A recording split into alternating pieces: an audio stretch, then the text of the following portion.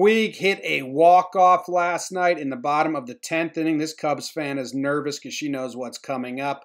We got the first pitch, bases loaded, and he starts him off with a ball. Puig says, Now you have to throw me a strike, and I like that. Let's get sexual. Come on, Bat. You and me. He's going to put this one somewhere near the plate. He doesn't want to go down 2 0 with the bases loaded in a tie game in the bottom of the 10th inning. He's going to put it somewhere. Let's touch it. Here we go. Boom, boom, boom. I don't know if Puig thought he had a home run, didn't have a home run. A single will do it, though. That does it. Votto says, I told you, big hugs here. Amir Garrett comes out and just rips his shirt off, kind of like beats the shit out of him, but that's what they do. First section is just punching and beating the shit out of him. Barnhart comes.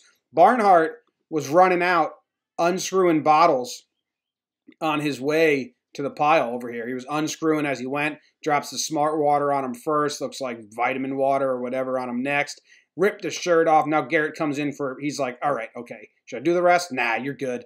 Leave him alone. A little push from Iglesias. Puig says, hey guys, got something in my eye. So if you could just leave this eye alone, that would be much appreciated.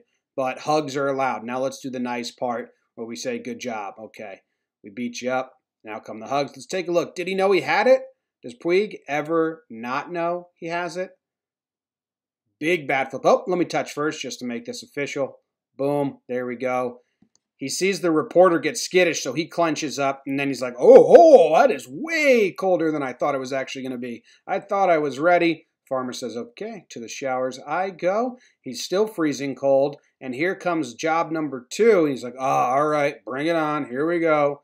Drenches him, and fuck the interview. Let's go. I'm just I'm just out of here next so. And then they show us a nice slow-mo of that second one, which is basically porn. Look at this.